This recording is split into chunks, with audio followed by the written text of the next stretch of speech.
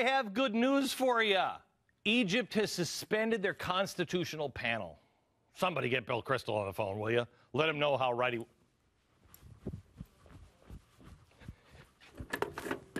Ethel, Ethel, get Bill Kristol on the phone. We've got to let him know how right he really was. no, no, uh uh, no. Gosh, man, was I stupid to ever jump on the ridiculous conclusion that this Egyptian revolution thing might turn out to be a bad thing. Joke's on me, I guess. Bill, you're too smart.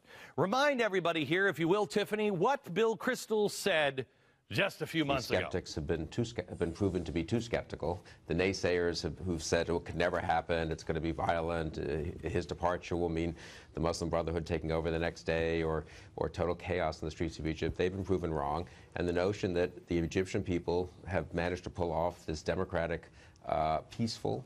Uh, removal of a dictator and now have a seemingly pretty stable situation in the streets of Cairo and the other big cities with a guarantee or at least a promise of a transition uh, to free and fair elections. And no real sense that those elections are go yet that those elections are going to go in some terrible direction for the US uh, or for Egypt itself. I, I think it, I think this may be a case where uh, the normal worldly pessimism is too pessimistic yeah. and the normal cynicism is too cynical mm -hmm. and one has a, a, right to actually be hopeful yeah. about these developments. Let me tell you something. Good call on that one Bill. Are you a soothsayer? I mean I don't, I don't know. Do you have your are you like one of those people that you know, drive by in like downtown, really shady parts of town? You're like psychic. You know, I got to pull over. I got to go. Is that what you do for a living? Because that was good. By the way, the panel uh, that was suspended was supposed to draft the country's new constitution, but the exciting news doesn't stop there. Egypt and the majority Islamists are now aligning themselves with Iran. Another nutty thing that I said could happen, but I was told no because they're Sunnis and Shias and they'll never get along. And I said, no, they'll get together for the destruction of the West. They'll do that. But I'm no Bill Kristol. I'm not very good at this stuff, not like Billy Boy. Here's what happened. We helped the Muslim Brotherhood gain power. Then our president comes out and says the Muslim Brotherhood isn't all that dangerous. Really? Now that the Muslim Brotherhood is turning to Iran. Are we going to recognize that? Hey, what do you say we stop writing them checks? Here's three quick examples of how dangerous the Muslim Brotherhood is in Egypt. Bill Kristol, you might want to write this stuff down.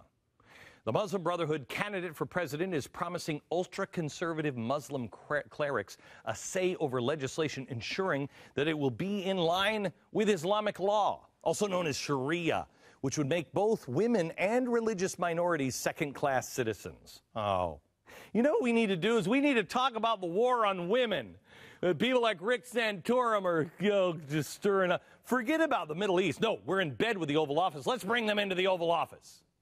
Then there's a little problem of attacking Christians, attacks by Islamic extremists, including Muslim Brotherhood members, on Coptic Christians, who are roughly 10% of Egypt's population. For instance, on October 2011, churches were attacked.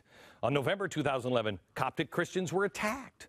Uh, New Year's Day, two dozen worshippers attacked. Bombs went off, 100 injured.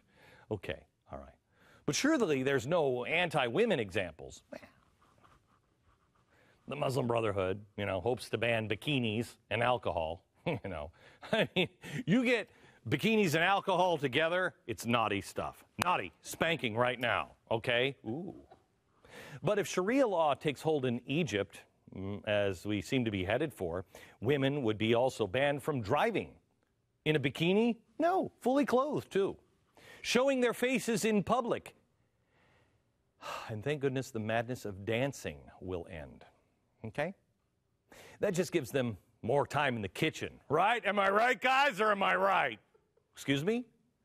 All these things would just be prudent steps. Anywho, nobody needs to dance. I mean, that just leads to dumb shows like Dancing with the Stars. And you don't need that kind of thing in Cairo, where they're so much more intellectual than we are here.